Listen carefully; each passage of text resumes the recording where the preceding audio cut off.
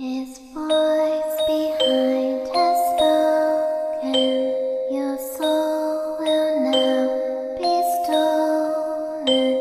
He wants you, he wants you, so let him in. The door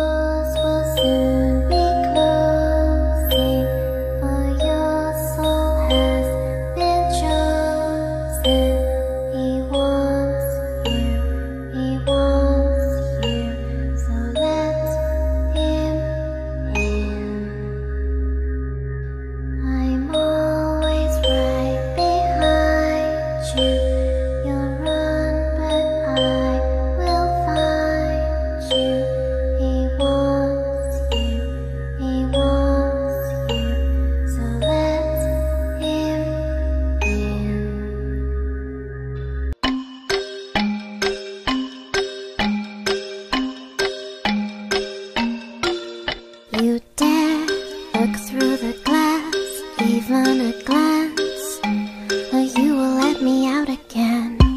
You've opened the door Just wanting to explore.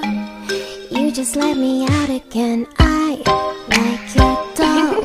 With a ghostly call But she doesn't wanna be your friend. Hear the sound of knocking This chair is slowly rocking.